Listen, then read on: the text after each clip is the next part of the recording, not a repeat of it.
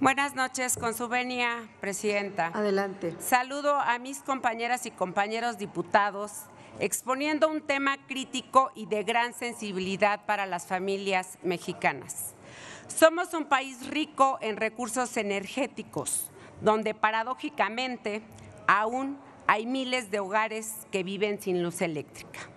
Esta reforma no propone ninguna mejora en concreto, ni para los mexicanos ni para las empresas. Con una bancada de mayoría de oídos sordos para contemplar solamente esta reforma.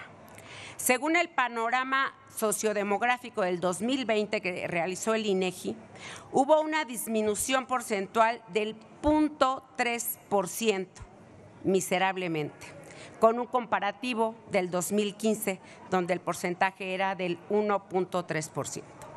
Es decir, que en cinco años se avanzó muy poco para dotar de cobertura eléctrica a quienes no la tienen refiriéndonos a poblaciones generalmente indígenas que viven en zonas marginadas sin acceso a la red, en localidades urbanas sin recursos para cubrir el gasto que representa el servicio.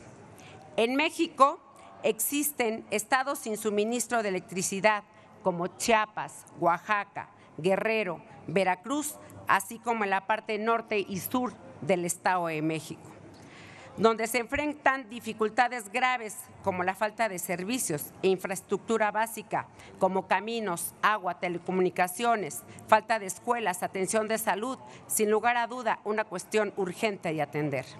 En 2020 se informó que el 1% de las viviendas en México no tiene acceso a la electricidad. Esto significa que más de 352 mil hogares o cerca de 1.2 millones de personas no tiene derecho a la luz eléctrica. Debemos entender que la electrificación rural contribuye a reducir la pobreza, mejorando la condición de vida de las y los mexicanos. La pobreza energética es un fenómeno que afecta a personas que no tienen acceso a la energía para satisfacer sus necesidades básicas. Las necesidades más vulnerables como son a las comunidades indígenas, a los adultos mayores, los niños, enfermos y personas de bajos recursos. Por eso hoy tenemos que utilizar las nuevas herramientas del, futuro y no retroceder.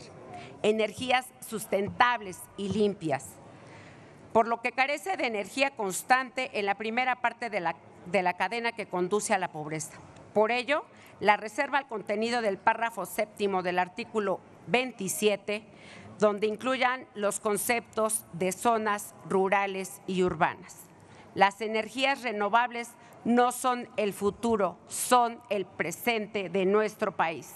Atención inmediata y solución emergente. Muchas gracias. Es cuanto, presidente.